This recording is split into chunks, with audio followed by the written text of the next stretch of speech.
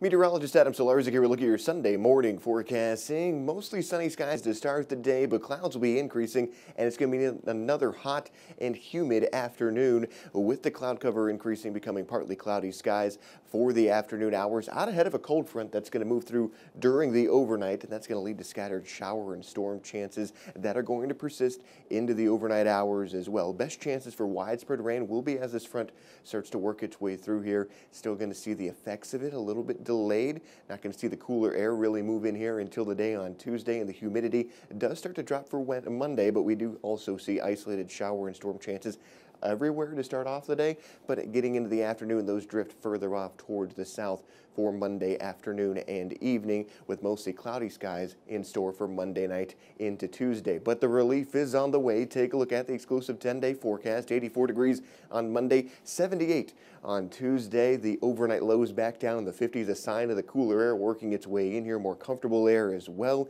as we see highs of 79 degrees on September 1st, 78 degrees on Thursday, 80 degrees on Friday, 82 on Saturday, and staying in the 80s for Sunday before 79 on Labor Day.